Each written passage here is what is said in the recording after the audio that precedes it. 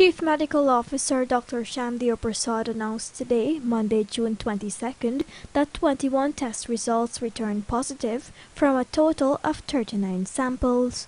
This took the number of COVID-19 cases recorded in Guyana to 205. Only yesterday, those figures were just 184.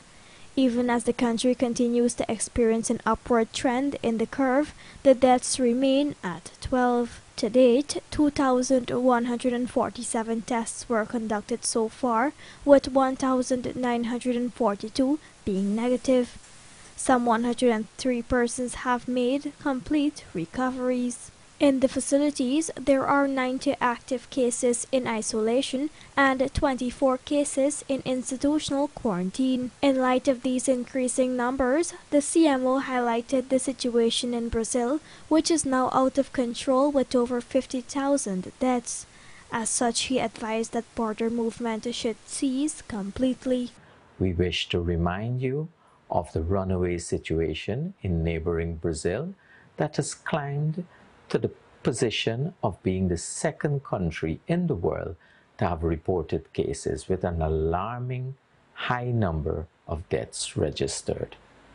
Residents in regions number 1, 7, 8, and 9, you're extremely vulnerable because of this situation and need to be vigilant. Stop all cross-border movement and migrant persons entering your community. Region 9 have reported another positive case, which is testimony to our call for you to be on your guard.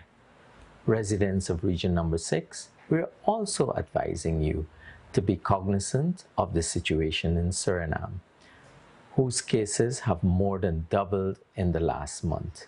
Globally, the total number of positive cases is 8,708,008 cases, with 461,535 deaths.